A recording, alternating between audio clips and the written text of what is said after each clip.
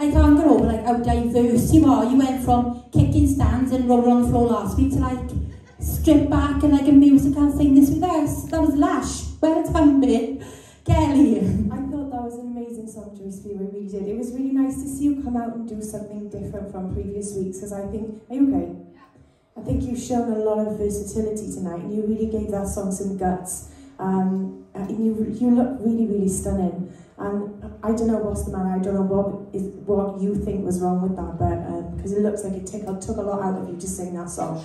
But yeah, but you, you did an amazing job of it anyway, okay? Thanks, Kel. Do you want to sit down with me for the stool? Okay? Yeah? Are you sure? Mm-hmm. Okay, Low. yeah, I think, you know, I think you've got some kind of throat issues. I don't know whether you're under the weather or something. But don't let it panic you because you still come out here, you've still performed. Okay, and that's your big, big strength is that you always perform your song. Um, it was just a bit of lack of technique. That's why you were breaking up on the top notes. Um, but it was a lovely contrast to what you've done the last couple of weeks, so nice tries. I, I'm going to just be really quick because I'm worried about you. But I thought it was a fab performance, well done. Thanks, Lou.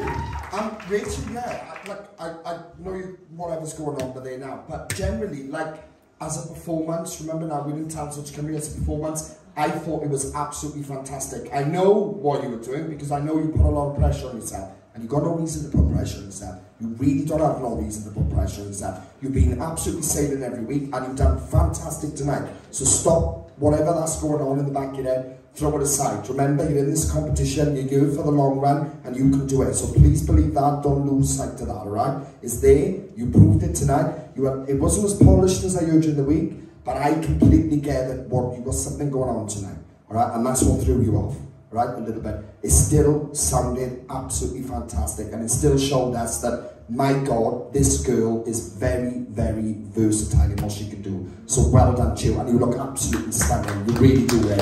So,